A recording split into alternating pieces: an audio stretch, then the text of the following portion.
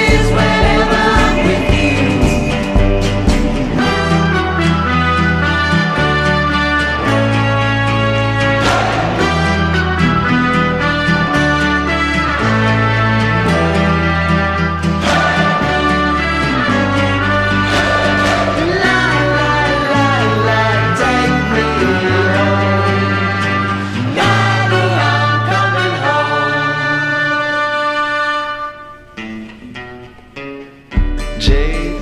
Alexander. Do you remember that day you fell out of my window? I sure do. You came jumping out after me. Well, you fell on the concrete, nearly broke your ass, and you were bleeding all over the place, and I rushed you out to the hospital. You remember that? Yes, I do. Well, there's something I never told you about that night. What did you tell me? While you were sitting in the back seat smoking a cigarette you thought was going to be your last.